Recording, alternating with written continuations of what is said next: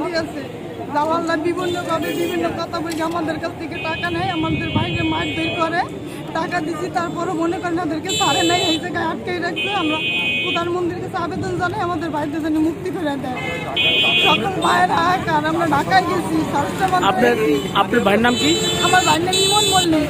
আমার বাড়ি টেকার মস্কাপুর মল্লিক বাড়ি মানে এখান থেকে গেছে কার মাধ্যমে? এই এইখান থেকে গেছে সজীব দালালের কাছে। সজীব তার বাড়ি কোথায়? তার বাড়ি মহিষমারি। মহিষমারি কোথায়? মহিষমারি টাকারের পাশে মহিষমারি টাকার মহিষমারি সজীব নাম। হ্যাঁ সজীব দালাল। তারপরে স্বামীন দালাল আমাদের কাছ থেকে টাকা নিয়েছে মুক্তির কথা বলে তাই হ্যাঁ কত টাকা গেছে দিচ্ছেন এই পর্যন্ত? দালালের কাছে? দালাল নিচে এই জায়গা থেকে মনে করে নেওয়ার পরে পরে এর কাছ থেকে দশ গত সাত মাস ধরে কামতে কামতে জেলে আছে। এই পর্যন্ত কত টাকা দিচ্ছেন এই পর্যন্ত প্রায় ষোলো লাখ টাকা গেছে। তারপর আমরা কোনো সারা পাইতেছি না। আমরা তার কাছে অত লাভ হতো তা আমাকে তা আমাকে ফিরাইয়ে দেয় আমরা তাকে আমাকে ফিরাইয়ে দেয় আমাকে ভাই। আমরা আর কিছু চাই।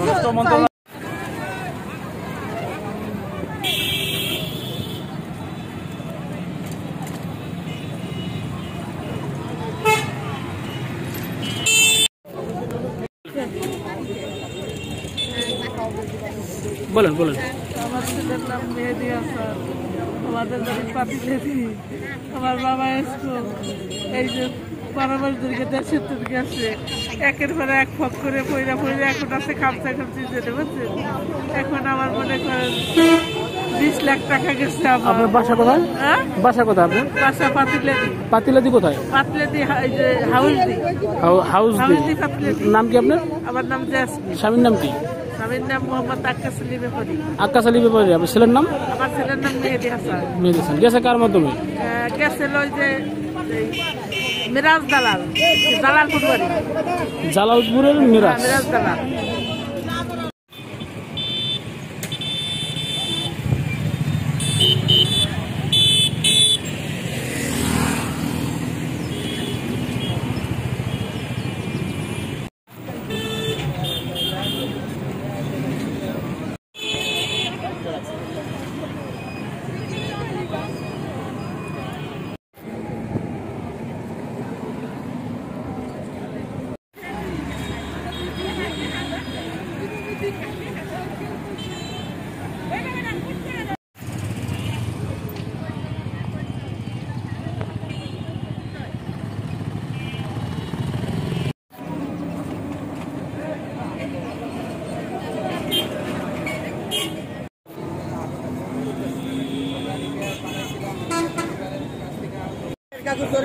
আমাদের ছেলেরা দীর্ঘ পাঁচ মাস যাব লিবিয়া আর যারা খামসা খামসে জেলে আটকিত অবস্থায় আছে এদের প্রতি শারীরিক নির্যাতন করা হচ্ছে।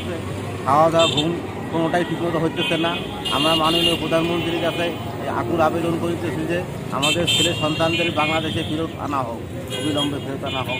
আপনার বা- বাসা কোথায়? আমাদের বাড়ি চিরকারা ইউনিয়ন গ্রাম। আপনার মানে লিবিয়া কে? আপনার ছেলে? আমার ছেলে আমার একমাত্র ছেলে। নাম কি তার? আমির শেখ আমির শেখ। আপনাদের দালাল কে? আমাদের বাংলাদেশ থেকে যে দালালের মারফতে আমরা রেফারেন্স করছি তার কিন্তু ধরলে কিছু হবে না। এখন ওইখানে আপনার ভোট হয়েছিল গেম হয়েছিল গেমের মাঝে সাগরের ওখান থেকে এখান থেকে গেছিল কার মাধ্যমে? কোন কোন দালালের মাধ্যমে? বাংলাদেশে আপনার গিয়েছিল আপনাদের যেহেতু আপনার টাকা থাকে তাদের তার নাম ঠিকানা আমরা সঠিকভাবে জানি না আপনাদের মারফতে মারফতে চলে গেছে। মানে আপনার টাকাটা কত টাকা দিচ্ছেন এইখান থেকে লিবিয়া পর্যন্ত সে সুস্থভাবে আপনার না সেটা ঠিক আছে। কত টাকার বিনিময়ে মানে কত টাকা খরচ হয়েছে? আমাদের এই পর্যন্ত প্রায় আপনার প্রায় পনেরো লাখ টাকা খরচ হয়ে গেছে। মানে এই টাকাটা কি কত মানে কীভাবে কীভাবে দিচ্ছেন টাকাটা? এটাই আপনার দালালের মারফতে দালালের মানে টাকাটা দিচ্ছেন কি একসাথে দিয়ে দিয়েছেন টাকাটা? না আপনার ভাগে ভাগে খরচ মানে এখা- এখান থেকে কত টাকা দিচ্ছেন পরে পরে এখান থেকে খরচ হয়েছে পাঁচ লক্ষ টাকা। ওইখানে যাওয়ার পরে গেমের পর পরে ধরা এখান থেকে পাঁচ লক্ষ টাকা দিচ্ছেন কাকে? এখান থেকে আপনার যে আমার থেকে পাসপোর্ট দিয়েছিল তাকে দিয়েছিল কে নাম কি তার? ওনার নাম তো আসলে আমি সঠিক জানি না। ছেলের নাম জাহিদ ব্যাপারী। প্রথমে আমি লিবিয়া চার লাখ টাকা গেম করে লিবিয়া পর্যন্ত পৌঁছে দেয়। এরপর এক দালালের মারফতে চার লাখ সাড়ে তিন লাখ টাকা গেম করাই। তারপরে ভোরে চার ঘণ্টা ভোট চড়ানো ধরা খায়। এখন খানসাকান্তি পঞ্চাশ নম্বর জেলে আছে। আমার ছেলের মুক্তি চাই। তাতে খাওয়ায় কষ্ট একটা রুটি দেয় ছেলের নাম আপনার বাসা কোথায়? আপনার বাসা? আমার বাসা চিহ্নদিন শ্রীনদী চিহ্নদিন ছেলের নাম? ছেলের নাম জাহিদ ব্যাপারী জাহিদ কতদিন হয়ে গেছে? সাত মাস হয়ে গেছে। সাত মাস হয়ে গেছে। মানে গেছে কার মাধ্যমে? জাহিদ কেন জাহিদ খান ইসুফ না? বাংলাদেশ থেকে দায়িত্ব কেন জাহিদ খারিজপুরের মাধ্যমে গেছে। কত টাকার বিনিময়ে গেছে? কত টাকা দিচ্ছে তার লাগে আট লাখ কন্ট্যাক্ট ছিল। বডি কন্ট্যাক্ট আট লাখ ছিল? তারপরে মাফিয়ার ধরছে এর কোনো খোঁজ খবর নেয় না। এবার আমরাই ভাই আমরা এখানে যারাই দাঁড়ায় আছি দীর্ঘদিন আমরা ঢাকার গেছি বিভিন্ন দপ্তরে গেছি। আমাদের মাননীয় জেলা প্রশাসক মহোদয়ের কাছে আমরা স্মারকলিপি দিয়েছি। ওনার সাথে আমরা বসে সকলে কথা বলে বলছি। উনি আমাদেরকে আশ্বাস দিছে যে বাংলাদেশে নিয়ে আসবে। এরপরে আমরা দেখলাম কিছুই হয় না। পর্যায়ক্রমে আমরা কিসে চলে গেছি, ঢাকায় চলে গেছি। ঢাকায় গিয়া প্রেস ক্লাবে মানববন্ধন করছি। ওইখান থেকে আমরা ওএমের যে ইন্টারন্যাশনাল সংস্থা আছে, ওইখানেও গেছি।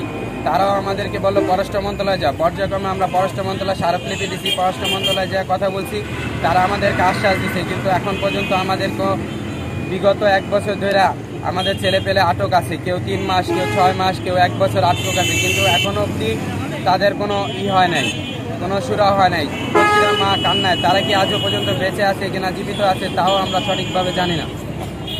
এখন দালাল চক্র এক একজনের সাথে এক একভাবে কথা বলে, তাদের আমাদের বিভিন্ন পরিবার পরিজনের কাছ থেকে চাঁদা দাবি করতেছে, মুক্তিপণ দাবি করতেছে। আমরা মাননীয় প্রধানমন্ত্রী, জননেত্রী শেখ হাসিনার কাছে আমাদের দাবি আমাদের মাদারীপুরবাসী সহ বাংলাদেশের বিভিন্ন প্রান্তে যত লোক এই লিবিয়ার খামসাখামসি জেলে আটক আছে তাদেরকে জন্য তিনি বাংলাদেশে অবিলম্বে ফেরত নিয়ে আসে এবং প্রত্যেকটা মা বাবার পিতাকে তার সন্তান ফিরিয়ে দিয়া তাদের কোলকে শান্তি করে দেয়। আপনার লিপি আপনার কি আছে? আমার ছোট ভাই আছে। আপনার ছোট ভাই আপনার বাসা কোথায়? চর্মবিরা নয়াচর। চট্টগ্রাম অঞ্চল আপনার আপনার ছোট ভাইয়ের নাম কি? মোহাম্মদ ফয়সাল আকুন এখান থেকে গেছে কার মাধ্যমে? এখান থেকে গেছে কাশেম নামের দালালের কাছে। তার বাড়ি কোথায়? বাড়ি আমরা জানি না ঢাকায় থাকি। আচ্ছা আমি মানে অধিকাংশ লোকের অভিযোগ যে শামীম নামে এক লোকের কাছে তারা উনি মুক্তিপণ আদায় করতেছে। উনি হলো জেলখানার ভিতরে থাকে। বাংলাদেশি ছেলে। তার বাসা কোথায়? বলতে পারেন? আমরা শুনছি টাঙ্গাইলে কিন্তু সঠিক খবর আমরা এখন অব্দি পাইনি। টাঙ্গাইলে কোন গ্রামে কোথায় থাকে?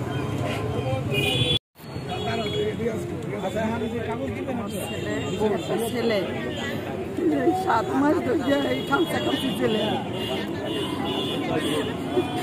আমার ছেলেরা ষোলো লাখ টাকা গেছে মায়ের দূর করে টাকা পয়সা নেই একটা ছেলে ছেলের নাম আসাদ আসাদ শেখ। বাসা কোথায় আপনার? বাসা হলো বলগেরাম রাজের বলগেরাম বাসা। মানে দালাল? দালাল হয়েছে হলো মিরাজ। মেরাজ। মিরাজ। আর ওখানে খামসা খামসি জেলে দালাল হয়েছিল স্বামীনার নাম সুহেল। আমরা এই মাদারীপুরে মানববন্ধন করেছি। আমাদের ভাই, কারও সন্তান, কারও ছোট ভাই, কারও বড় ভাই খামাজ কামসি জেলে ধরা খাইছে। ওই দালালের মাধ্যমে আমরা চার লাখ, পাঁচ লাখ করে টাকা দিছি, কিন্তু দালালরা আমাদের বাইরে ফিরিয়ে দেয় নাই। এখন আমরা এটা নিয়ে মাদারীপুর ডিসি অফিসে একবার আসছিলাম। তারপরে আমাদের ঢাকা স্বরাষ্ট্র মন্ত্রণালয়ে গেছি। তারপর লিবিয়া পাসপোর্ট অফিসে গেছি তারপর পররাষ্ট্র মন্ত্রণালয়ে গেছি আমরা কোনো সাড়া পাই নাই। এখন আমরা আকুল আবেদন শেখ হাসিনার কাছে দ্রুতভাবে আমাদের ভাইদেরকে দেশে ফিরে আনুক। আমার ভাইয়ের নাম আলী ঢালি আমাদের বাড়ি শরিয়াতপুর নড়িয়া থানা।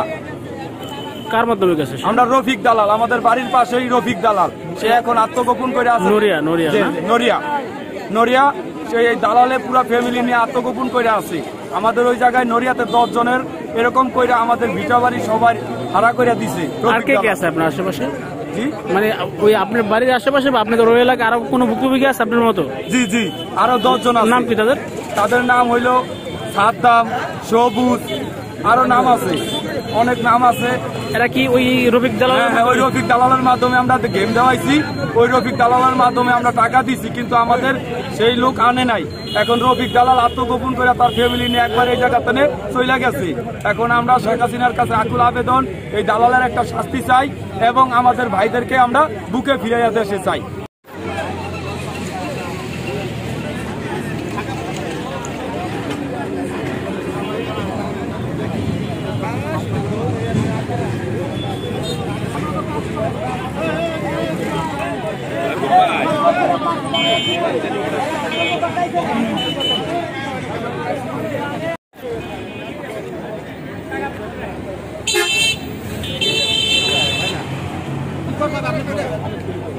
Söyle